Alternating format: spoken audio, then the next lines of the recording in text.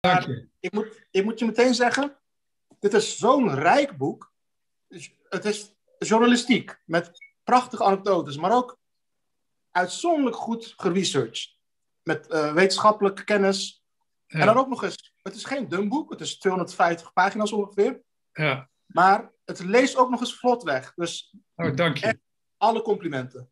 Dank je. En al lezende heb ik heel veel dingen kunnen begrijpen. Over gender überhaupt, denk ik. Over mannelijkheid, masculiniteit. De ja, uh, dingen die ik niet wist. Maar tegelijkertijd ook nog heel veel de aanknopingspunten uh, om, om de actualiteit, misschien het huidige politieke thuisgewicht wat meer, beter te kunnen duiden. Dus ik zou zeggen, laten we meteen beginnen met wat mij betreft de eerste vraag, Maar Okay. Vertel eens, wat is de man of een man? Wat is dat? Uh, jeetje, dat is de moeilijkste vraag. Wie is dat? Ja, ja er zijn natuurlijk vele uh, uh, mannelijkheden. dat, dat, er zijn natuurlijk vele types, die staan ook beschreven in het boek. Maar de man is, statistisch zijn er toch wel verschillen. Hè, mannen doorgaans werken meer buitenshuis. Ze zijn natuurlijk in de geschiedenis is het waar dat in de geschiedenis, voordat de emancipatie begon, hadden ze natuurlijk vaak waren ze, hè, had je, je hebt natuurlijk een periode van, van paternalisme gehad en waren ze tijdenlang speelden ze de baas in huis. Dat is nu een stuk minder sinds de emancipatie. En ik denk ook dat vrouwen, als ze emanciperen, het nodige van de man kunnen leren.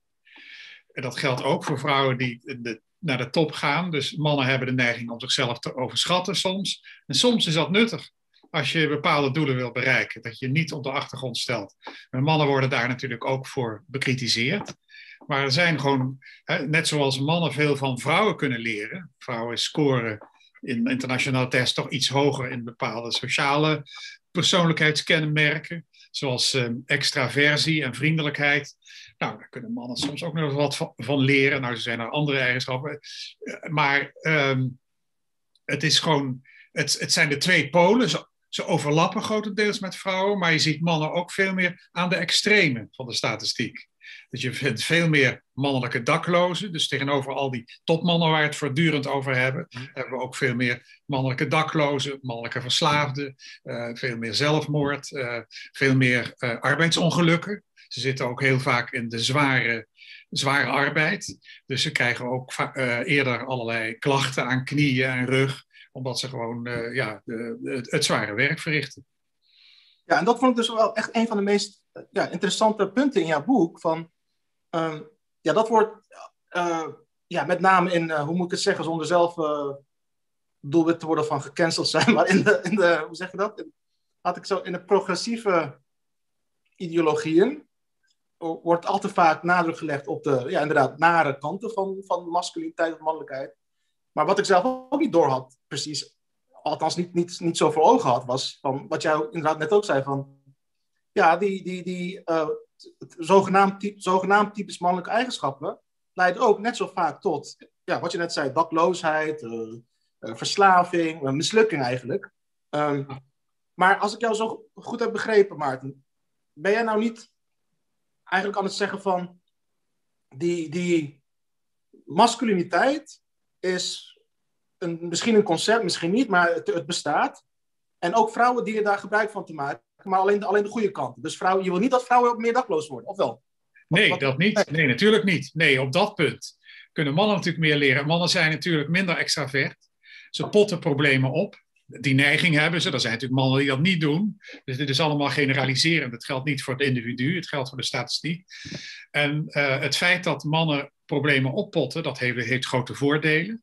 Uh, een van de grote voordelen is dat een groep sneller samenwerkt, dat, dat mannen ook sneller automatisch um, uh, hiërarchie accepteren, wie de leiding heeft in de groep, informeel, en over problemen heen stappen.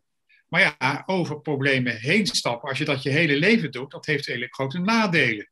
Het zou best wel eens goed zijn om ook dat wel eens stil Dat kan te ik staan. persoonlijk beamen, Maarten. Dat kan hm? ik persoonlijk beamen, ja.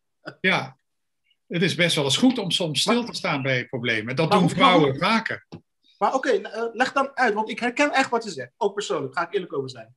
Maar hoe komt het nou dat wij, gemiddeld genomen dan, en niet iedereen, maar wij, zeg maar, wij, jij en ik, gendergenoten, inderdaad zo bijna geprogrammeerd zijn dat we inderdaad uh, ja, problemen onderdrukken, niet, niet kwetsbaar durven te zijn, et cetera, et cetera.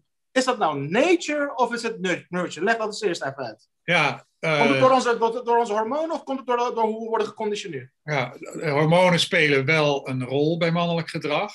En daar zijn ook wel meer aanwijzingen voor. Uh, nou ja, heel duidelijk. Uh, volgens uh, de psycholoog Vingerhoets, die daar een boek over heeft geschreven.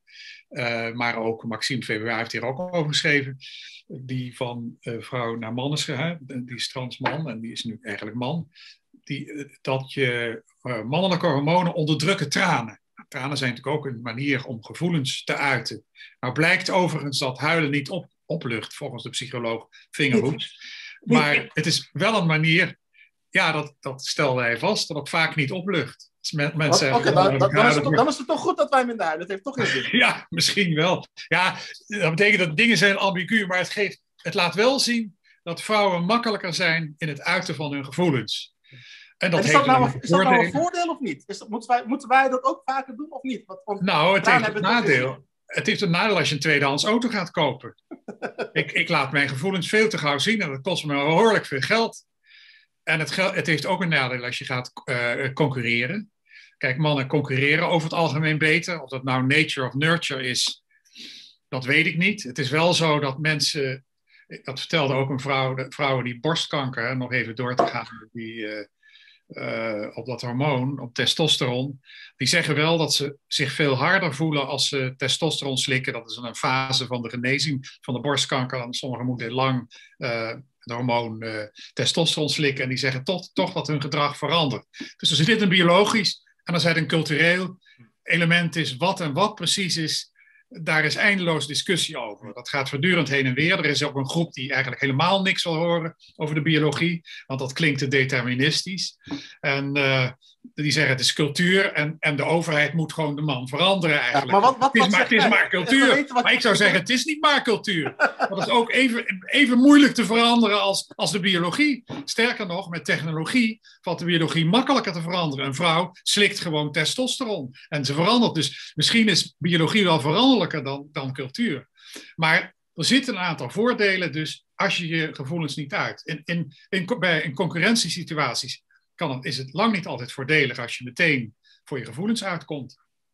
Maar er zijn dus ook situaties denkbaar waarin het wel voordelig is. Dus jij zegt eigenlijk contextgebonden. Moet het ja, zijn. voor intieme verhoudingen is het natuurlijk toch wel fijn als je wat open over jezelf bent. En in die groepen zijn de vriendschappen toch wat oppervlakkiger. Ja. Dus uh, mannen willen ook dingen met elkaar doen. Je ziet het ook op kinderspeelplaatsen. Dan zie je meisjes in groepjes met elkaar praten en de jongens rennen schreeuwend over het speelplein. Ja, en dat, dat vond ik dus ook fascinerend, hoe jij dat zo feilloos en mooi observeert in je boek en beschrijft. En ja, dan, oké, nog, nog een laatste poging dan van, ja, waarschijnlijk zullen de wetenschappers daar niet over eens zijn, maar wat, voor, voor zover jij er naar hebt gekeken, komt dat omdat meisjes in de westerse kapitalistische samenleving vanuit die genderpatronen worden geconditioneerd als ze dat doen op, op schoolplein? Of zit er toch iets in de, in de vrouwengenen. Dat klinkt alweer zo fout, maar goed. Ja, het zit er natuurlijk beide in. En hoeveel, dat, dat weet ik eigenlijk niet precies. Dat is, als ik dat allemaal lees, kom ik daar niet helemaal uit. Hè? Dus uh, uh, je, je, vindt inderdaad, uh, vanmiddag vertelde me iemand die zei in Vietnam dat daar heel veel zakenvrouwen zijn. Die al heel lang geld verdienden, eerst markettensor en nu hele grote zakenvrouwen zijn geworden. Ja, dat, dat kan ook gebeuren. Of in Arabische landen uh, zijn vrouwen, uh, gaan ze allemaal de beta-wetenschappen in. Waarschijnlijk omdat... Dat is trouwens ook iets wat je terecht aanstipt, want um, in, in, in landen die over het algemeen niet bekend staan om hun, uh, hoe zeg je dat, gendergelijke culturen of, of, of, of, beleid of samenleving. Dat is patriarchaal eigenlijk, ja. Ja, precies. Ook Turkije bijvoorbeeld, waar mijn opa vandaan komt. Je hebt daar veel meer. Of, je hebt daar al een vrouwelijke premier gehad. Nederland nog niet. Uh, laten we even Turkije pakken. Het is dan geen Arabisch land, maar wel vergelijkbaar qua patriarchie. Um, de, de, de top van het bedrijfsleven Het is meer gender equal dan Nederland ooit van kan, kan dromen. Ja, dat is de, interessant. top, de top van de wetenschap ook. Dus wa- wa- zal in de Arabische wereld ook zo zijn. Ja, Maar ja, daar is hoogleraren. Ik weet in Turkije een vrouwenberoep. Absoluut. Absoluut. Maar dan komt misschien mijn enige, enige poging tot kritiek eh, misschien op jouw boek, Maarten, als je het goed vindt. Ja, Want het, het klopt wat je zegt. Alleen, je lijkt, ik zeg expres lijkt, hè, misschien heb je daar wel over nagedacht. Je lijkt wel over één iets heen te kijken dan, want jouw observatie klopt. Alleen, wat je dus ziet, ik zal Turkije nemen, het land waar ik wel veel van weet. En ik vermoed dat dat in Arabisch land niet veel anders is. Het is, de, hoe zeg je dat? Eh, Oké, ik zal het anders zeggen. Ik kom uit een arm Anatolisch gezin. De laatste keer dat ik op bezoek was bij mijn oom in, eh, in, in een Anatolisch dorp, ja, een paar jaar geleden.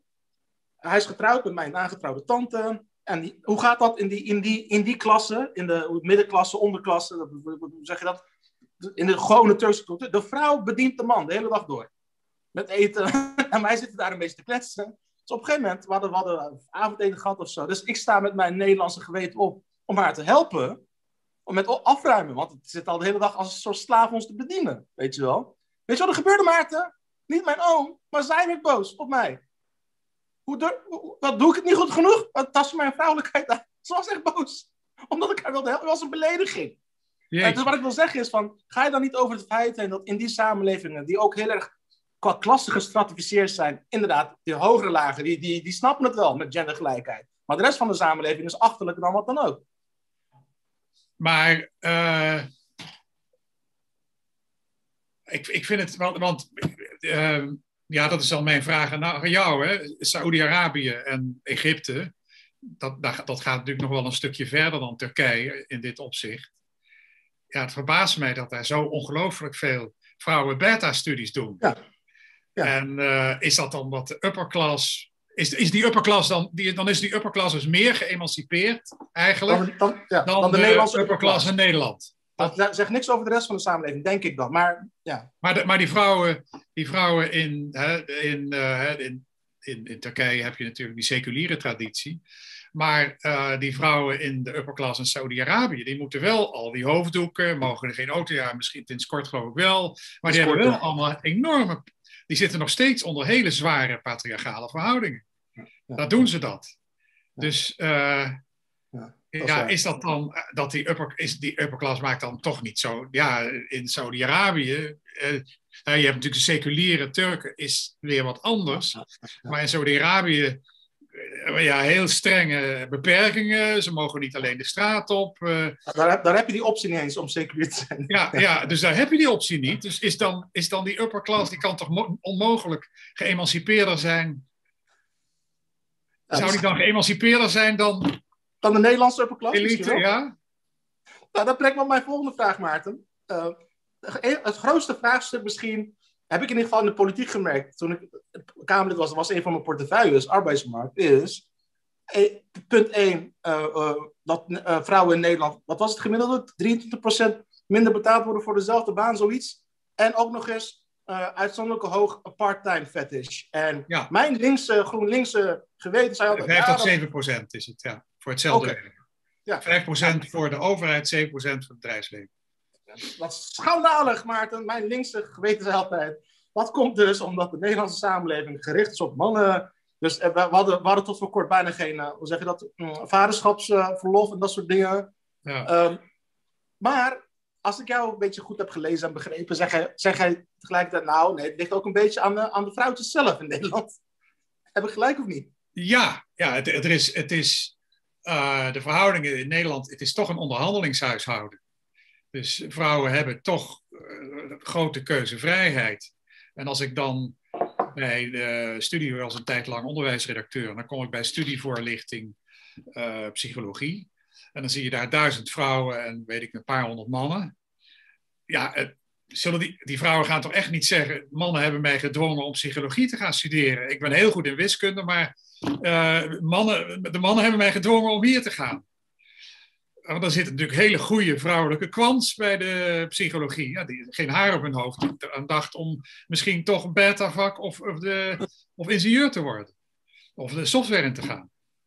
Wat is, wat, is, wat is dan het verschil tussen de, zeg maar, de, gemiddelde, laten we even benadrukken, gemiddelde Nederlandse vrouw en de gemiddelde, zeg, Saoedische vrouw, die dat wel doet? Ja, mijn vermoeden is heel sterk. Er is natuurlijk, je hebt het, in Oost-Europa heb je het ook, veel meer vrouwelijke beta's. Uh, dat het misschien ook al in, zo, in, zoverre met ongelijkheid te maken heeft dat als jij rechten gaat studeren, je doet uh, zo'n vak waarin je een maatschappelijk belangrijke positie inneemt, dat dan de status van de man plotseling heel belangrijk is in al die functies. En dat je daar als vrouw minder makkelijk tussenkomt. En uh, in die maatschappelijke uh, functies. En dat je zeker bent dat je ertussen komt als je gewoon ingenieur bent. Dat is gewoon tamelijk onmisbaar in elk land. En, en ik neem aan Saudi-Arabië, in Nederland is er een tekort aan. Ik, neem, ik, ik stel me zo voor in Saudi-Arabië en Turkije en die landen ook. Ik weet niet hoe dat in Turkije zit. Ik weet niet wat jij daarvan denkt. Maar zou dat niet daarmee te maken hebben ja. dat het voor een vrouw moeilijker is om bijvoorbeeld rechter te worden in, in die landen? Dat weet ik eigenlijk niet. Ik ben daar ja, omdat het boek over mannen gaat, heb ik niet daar niet helemaal ingestort. Waarom dat? Dat ongelofelijke verschil. Want vrouwen ook in Arabische landen en vooral in Arabische landen heb ik in Turkije zag ik dan niet zo. Ongetwijfeld doen vrouwen in Turkije het beter in wiskunde dan Nederlandse. Dat zou best kunnen, maar in Arabische landen is echt, doen ze het gewoon beter dan mannen in wiskunde. Ook op de middelbare school. Ze scoren hoger in tests. Ja, dat is interessant, Maarten. Dat is echt heel interessant. Ja. ja. Misschien ook, nou, wat je zegt, dat het ook een, misschien een objectieve tak van sport is, waarin ze kunnen.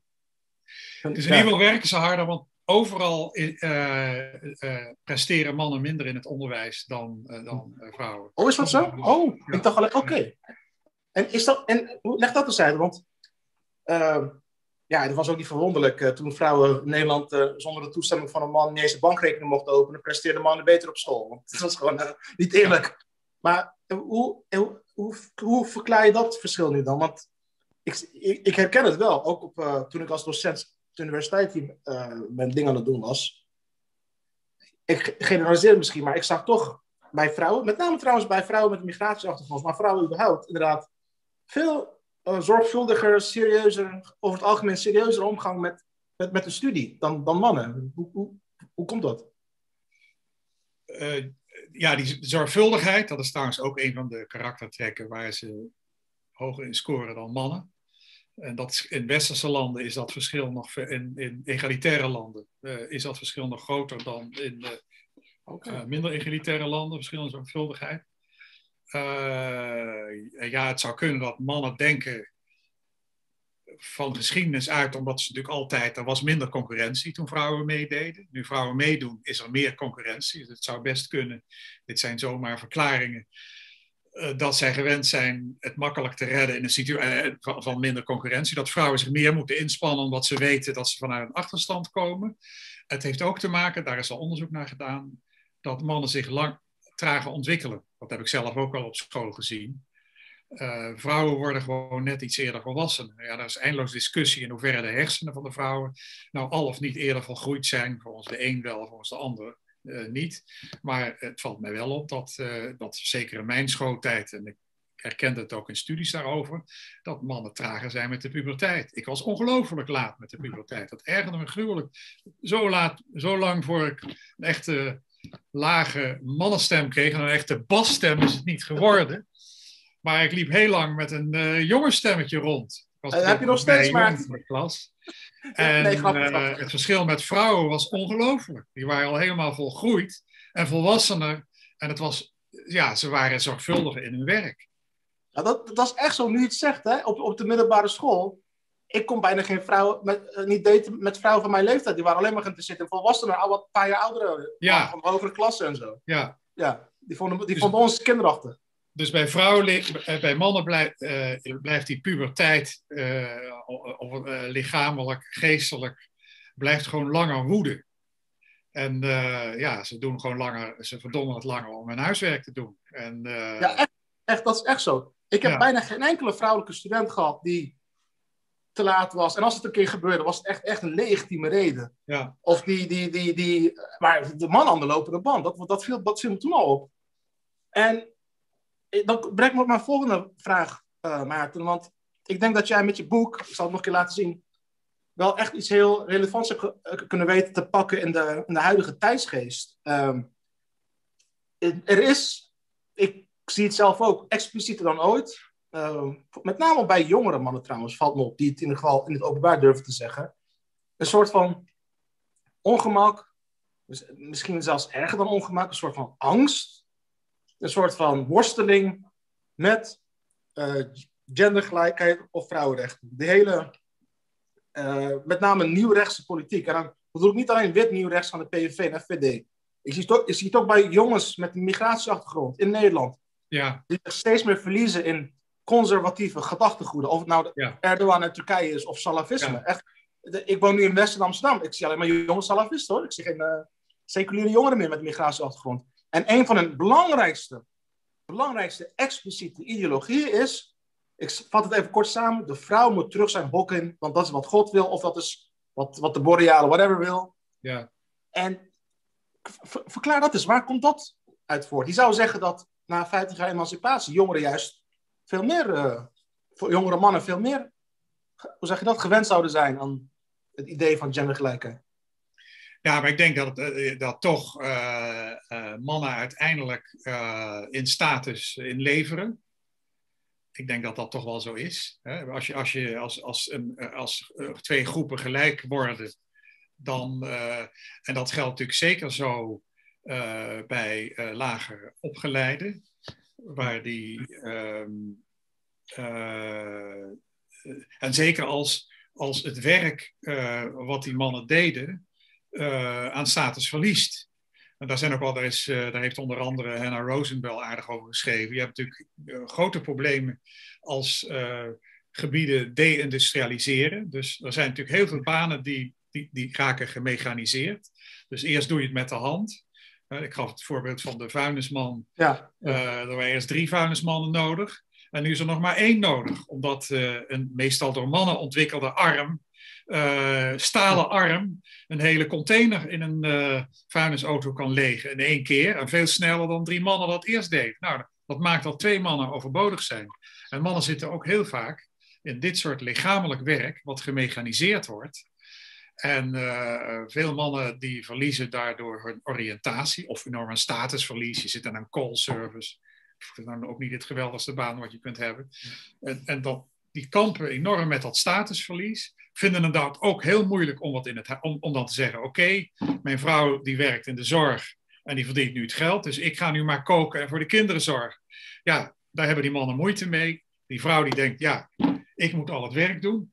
En die man die blijft daar maar zitten. Nou ja, eh, weg ermee. Ik heb hem niet nodig. Dat zie je ook steeds vaker, dat, dat dan die mannen eruit worden getrapt. En je, en je ziet ook bij CBS, dat vind ik wel, ja, dat zijn keiharde cijfers, dat is al heel lang zo trouwens, dit is al denk ik begin van de mensheid, dat onder laag opgeleide uh, 30% van de mannen kinderloos is en 15% van de vrouwen. Dus laag opgeleide vrouwen krijgen meer kinderen dan de gemiddelde vrouw. Wow. En laag opgeleide mannen veel minder kinderen. Dat, inderdaad, dat betekent, dat betekent dus dat, dat, ze vaker, dat mannen vaker worden geloosd door uh, vrouwen uit die... ja, dat, dat ze er vaker, vaker niet in slagen om een partner te vinden. Omdat die vrouw die wil altijd een man met vooruitzichten.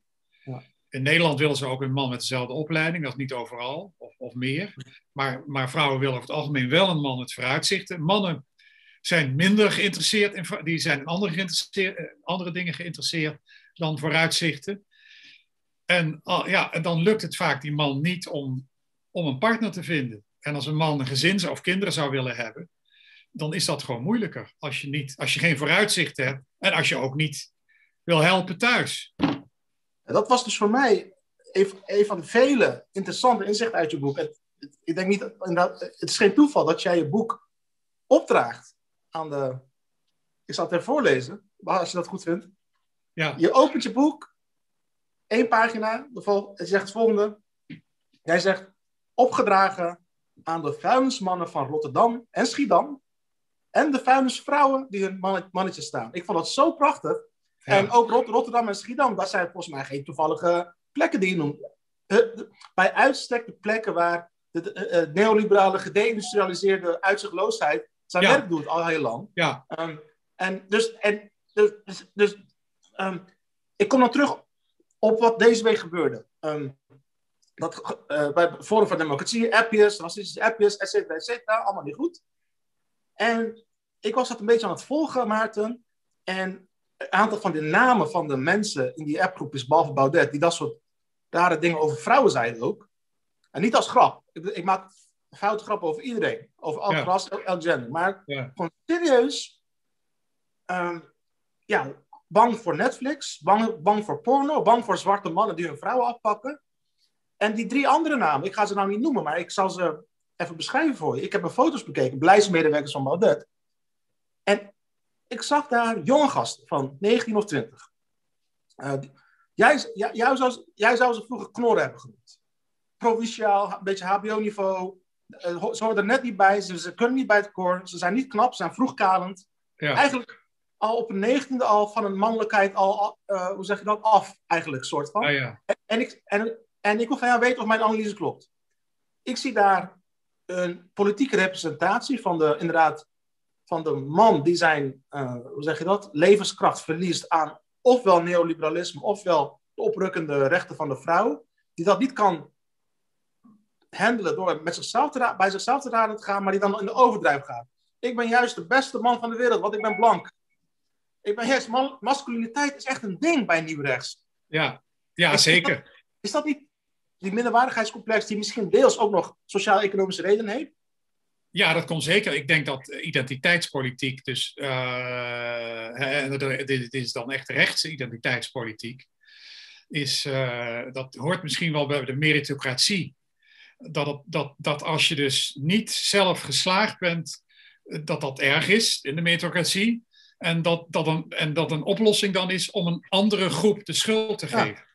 Dus eigenlijk, zonder het zo, met zoveel woorden te zeggen, ik ga het voor jou invullen. En als ik het niet goed invul, moet ik het ook zeggen. Jouw boek zegt eigenlijk, als wij giftige masculiniteit willen bestrijden, moeten we ophouden met een neoliberale samenleving inrichten. Waar we maar, moeten ook mannen, maar ook vrouwen, maar ook mannen een beetje waardigheid geven. Of vat ik het nou te, te politiek samen? Ja, ja, uh, ja, ja, wat neoliberaal is. Ik, ik ben wel voor vrije ondernemingsgewijze productie.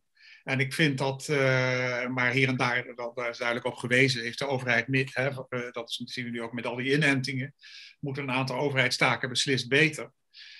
Uh, maar er is inderdaad, ik denk dat het niet helpt om, om mannen overal de schuld van te geven.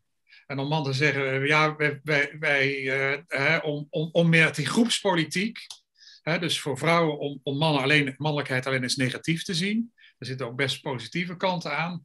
Dus dat, dat groepsdenken en, en de ander de schuld geven voor je eigen, voor iets wat, wat, je, wat je ambieerde en niet is gelukt. Uh, ik wil niet zeggen, dat, dat hoeft nog niet helemaal geen falen te zijn. Uh, mislukken hoort erbij. En op de ene manier ja, natuurlijk, de sector onderwijs is natuurlijk heel erg belangrijk. Dat is natuurlijk makkelijk om te zeggen en daar wordt weinig aan uitgegeven. Ja, dat, zou die mannen zeker helpen. En, en, en natuurlijk ook dat mannen best in de zorg kunnen. Dat kan ook. Dat kan natuurlijk ook. Heel veel mannen zouden dat ook best, misschien meer mannen dan het nu doen. Maar het, het is goed dat, je in, dat in ieder geval niet dan weer wordt gezegd: ja, dat komt omdat je man bent en dat is verkeerd en daarom doe je dat allemaal verkeerd. Je moet die verwachtingen, die, die, echt, die, die gendergerelateerde verwachtingen. ja. ik kan erover meepraten vanuit mijn opvoeding hoor. Dat is echt, uh, dat wel, uh, het kan heel nuttig zijn, maar het kan ook heel veel problemen opleveren. Ja, ja, dat vond ik nog een van de goede dingen van. Uh, alles, je hebt die feministische man, die was bij de boekpresentatie, Jens van Tricht. Ja. En die geeft dan ehm, een soort werkgroepen over mannelijke en vrouwelijke eigenschappen. En die relativeert dat heel sterk. Maar wat ik wel, en die is wel heel erg feministisch, meer dan ik dat ben. Maar wat ik dan wel weer aardig aan vind, dat hij gewoon niet in zijn boek, ik heb er echt naar zitten zoeken. Dus hij is gewoon niet echt heel negatief over mannen. Hij vindt dat mannen moeten veranderen. Maar hij begint mannen niet uit te schelden als uh, macho's. Als, ja, ja, dat vind ik dan weer het aardige van zijn soort feminisme. Ja, en, dat, en, dan, en dan zul jij, als jij zegt, Maarten... Zeg je? Ik ga je garanderen, nu jij dit zegt, waar ik het echt wel mee eens ben, nu jij dit zegt, ga jij het verwijt krijgen. Nou, dan heb je nou de man Maarten Huigen, die een andere man over feminisme pas goed vindt. Maar als een vrouw, dan krijg je dat, dat gelul weer. En dat, dat brengt mij. Ik, ik, volgens mij maakt het helemaal niet uit of hij een man of vrouw is. Volgens mij bedoel jij van. Uh, zodra we ophouden met het essentialiseren van mannelijkheid, dan wel vrouwelijkheid. En vanuit vrije keus gaan opereren. Want dat was ook die discussie over. Dat vond ik ook interessant in jouw boekpresentatie en ook in jouw boek. De discussie over nageslakken. Uh, ja. er, er, zijn, er zijn mensen die zeggen, nou, van, van, als, we, als we dus de genderongelijkheid willen bestrijden, moeten we van kleins af aan op de peuterschool al eigenlijk alle gendernormen proactief tegengaan. Dus uh, mannelijke kinderen, als man geboren moet ik nou zeggen, als man geboren kinderen nageslakken. En uh, ik chargeer nu vast wel als vrouw geboren kinderen, weet ik veel, met soldaatjes laten spelen. Ik zeg maar wat. Hè? Ja, ja, ja. Maar jij zegt volgens mij, nee, dat is dan weer, dan ga je van het ene kant van de pendulum, die niet goed is, aan de andere kant, wat je moet doen is vrijheid cultiveren, vrije keuze. Ja. Vrije dat keuze. vond ik echt heel krachtig. Maar, maar, dat is concreet, want dat vond ik echt een echt krachtige boodschap uit je boek. Ja, vrije keuze. Dus een jongen die wil schreeuwen. Ik, ik vind in het algemeen ook dat. Uh, uh, ik hou helemaal niet, dus dat geldt ook voor de achterstand van het onderwijs. Ik vind het heel goed dat er wordt nagedacht over waarom mannen achterstand in het onderwijs hebben. En het is ook heel goed om daar oplossingen voor te bedenken. Maar ik denk dat het verkeerd zou zijn om die dan alleen voor mannen beschikbaar te stellen. Die moet je net zo goed ook voor vrouwen beschikbaar stellen. Er zijn ook vrouwen met onderwijsproblemen in mindere mate. Maar je hebt ze ook. En een goed voorbeeld daarvan vind ik een uh, programma aan de Universiteit van uh, Rotterdam, de Erasmus Universiteit. Daar hadden ze business studies. En daar bleek ook weer, uh, er vielen veel meer mannen en, en mensen, mannen en vrouwen met een migratieachtergrond uh, uit dan vrouwen. Oh, en toen heeft de hoogleraar Michaela Schippers heeft toen een programma ingevoerd waarin je al vanaf je eerste jaar, en dat is ook heel begrijpelijk natuurlijk, mensen bijvoorbeeld die voor de eerste generatie plotseling in de business school van Rotterdam terechtkomen, dat is een heel prestigieuze instelling, en daar opgeduwd zijn misschien door een ouder van dit moet je, als je getalenteerd bent, dat moet je doen. Terwijl misschien wilden ze het zelf helemaal niet. Uh, wilden ze helemaal iets anders studeren. Hè? Hadden, ze, hadden ze hun intelligentie voor iets anders gebruiken. Uh, maar uh, dus toen hebben ze ingesteld dat die mensen eigenlijk een verslag moesten schrijven. Een doel van wat wil je nou eigenlijk met die studie? Hoe zie jij je leven de komende tien jaar? En dan moesten ze allemaal invullen, een heel formulier. En hoe denk je dat te gaan bereiken als je dat over tien jaar? Hoe zie jij zelf als je dat over tien jaar wil bereiken? En wat wil je nu met je eerste jaar doen op weg naar wat eigenlijk je doel is? Dus mensen moesten voor het eerst gaan nadenken, die eerste jaar, wat wil ik eigenlijk met die studie? En hoe wil ik dan later gaan leven? En wat gebeurde er? De uitval van zowel mannen als van uh, mensen met een migratieachtergrond ging enorm, uh, die werd veel minder. En dat werd vergelijkbaar met vrouwen. Maar vrouwen vulden dat allemaal ook in. Die deden dat ook. Wat, wat, wat vrouwen waren trouwens ook heel blij dat ze dat hadden gedaan. Wat, wat gebeurt er dan precies als je dus uh, ja, aangespoord wordt om over die vraag na te denken? Wat is dan het verschil met, met wanneer het niet gebeurt? Nou, ik heb het zelf trouwens ook meegemaakt. Ehm, ik wilde ik studeerde rechten en uh, ik had eigenlijk geen idee wat ik daar wil, mee wilde doen. Ik dacht een tijd, ik wil dichter worden of filosoof. Ja. En uh, ik wilde per se uh, in het buitenland studeren. En dan moest je dus hele, zeker voor Amerikaanse universiteiten, voor een beurs, moest je eigenlijk bij wijze van spreken ook al invullen hoe je begraven wenste te worden. Zo, tenminste, dat, dat gevoel had ik. Dit is zo gedetailleerd. Ik heb daar niet over nagedacht. Maar het is wel zo, toen ik, dat, toen ik dat moest invullen, dat ik veel beter begon na te denken over wat ik met mijn studie wilde. Ik ging plotseling ook veel meer bepaalde vakken. Dit zijn de belangrijke vakken die ik moet doen. Die zijn belangrijk, die andere vakken zijn minder belangrijk. Geen prioriteiten stellen. Ik heb er zelf ook enorm veel aan gehad. Dus plotseling ga je veel gedisciplineerder aan de slag. je werd, je werd, er, je werd, je werd er vrouwelijker door. Je werd een soort vrouwelijker door, om het zo te zeggen. Toch? Dat zijn die eigenschappen die je werd er vrouwelijker door, tussen aanhalingstekens. Ja, je bent er geplander voor. Ja, je bent er geplander. Je denkt meer over je leven na en wat je met je leven wil. Ja, en uh, je, je wordt gedisciplineerder. Mannen hebben de neiging. Ja, je hebt natuurlijk ook die discipline werd natuurlijk in het verleden werd die, uh, ja, in, de, in, de, in de padvindersbeweging. En mannen werden ook volwassen in, in de militaire dienst. dat is bij mijn vader heel duidelijk. Die heeft echt, die bleef alsmaar zitten. En die is, in de oor, nou, die is toen, toen Nederland eerder bevrijd werd, is hij toen het zuiden minder is hij bij de marine gegaan in Engeland. Daar heeft hij een hele technische opleiding gekregen. Daarvoor was totaal onduidelijk wat het zou worden. Dus, dus vroeger had je allerlei instellingen, vooral voor die weerspannige en zich laat ontwikkelende jongens.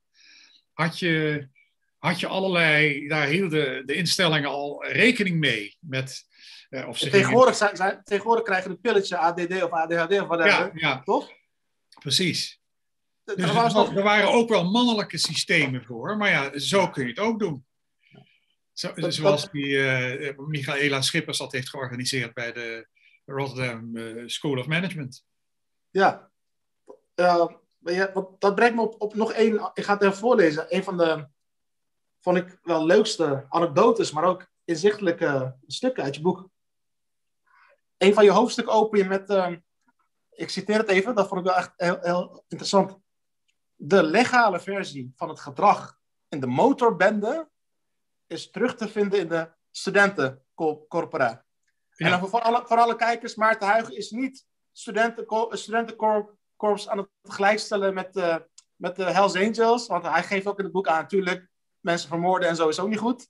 Maar waar het je om gaat is, en dat vond ik echt zo inzichtelijk, het heeft me veel geleerd van, um, dat je in een, een het, het clubgevoel, het clubgevoel die dus door dik en dun leert een soort van tros over jezelf te hebben. Je wordt eerst vernederd, een soort van, in beide groepen. Bij, in de studentenkoor en in de Hells Angels zijn, zijn er feuten. Ja. Toch?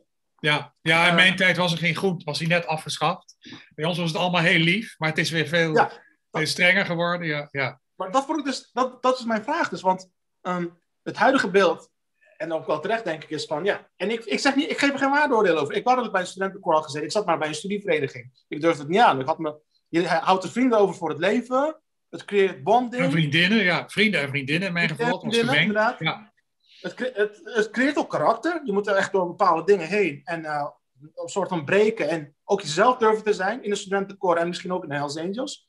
Maar wat ik, mij, wat ik dus niet wist. Jij zegt, jij beschrijft hoe ook die male banding. Of in ieder geval tegenwoordig ook female banding. Want er zijn ook vrouwelijke en gemengde corpora. Precies. In de, in de jaren 70 toen was de tijdsgeest heel progressief, beschrijf jij in je boek. En toen was een ontgroening dat je, wat was het ook weer, een, dier, een boomknuffel ergens erbij, of zo is? Wat was het?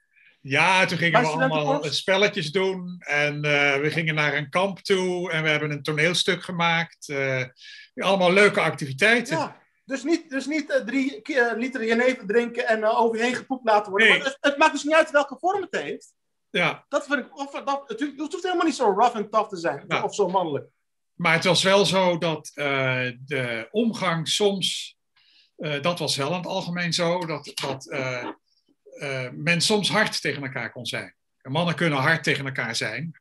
En, dat, en, en vrouwen trouwens ook. Die leerden dat dan ook eigenlijk. Ze zeggen dat die vrouwen er best wel aan gehad hebben als ze verder wilden en professionele carrière. Je leert ook soms om hard te zijn en dingen niet te accepteren. Ja. Dat, was, dat was wel zo. Ik heb er wel meer zelfvertrouwen gekregen. Ik kwam uit Maastricht. Uh, ik had geen idee. Ik kende helemaal niemand in Groningen. Ik dacht, ik moet bij een vereniging. Want hoe, hoe ga ik anders mensen buiten mijn rechtenstudie... Ik wil toch ook wel mensen buiten mijn studie leren kennen.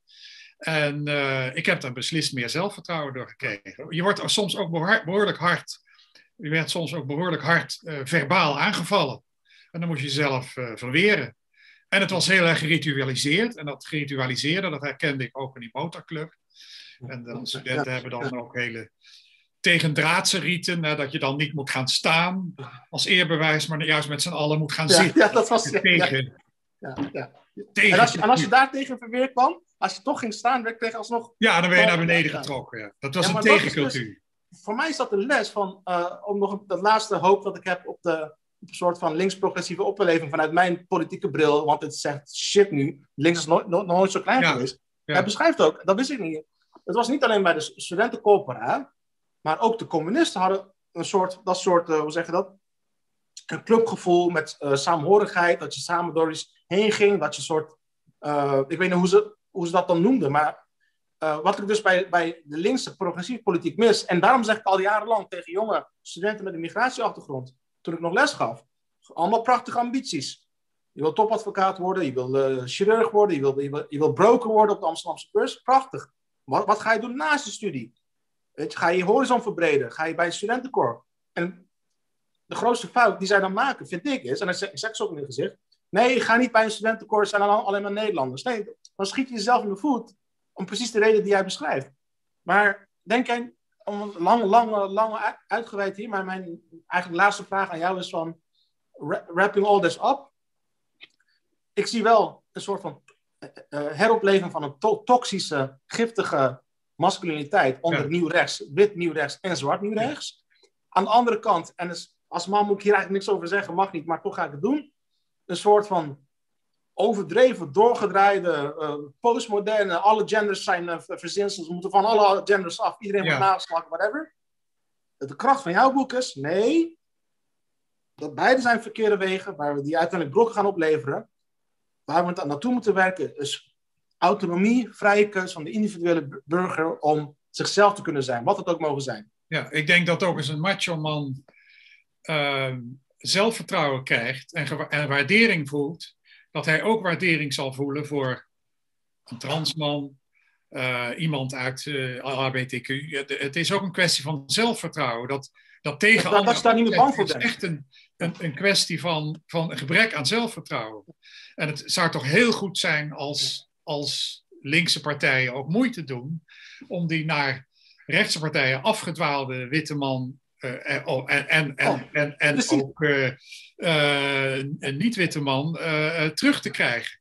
zo met je eens, Maarten. Zo met je eens. Dat, dat, dat gemakzuchtige besje van de witte man. Dan heb je zelf een aflaat als antiracist of als feminist. De witte man moet kapot. Maakt niet uit of die statenmaker is die, die zijn rug heeft gebroken op zijn 25ste. Ja. Dat is zo schadelijk. Dus ja, en ik ga nog een keer dat flap van je boek laten zien. Ik raad het echt iedereen aan. Het is echt zo'n leerzaam, vlot geschreven, goed onderbouwd boek.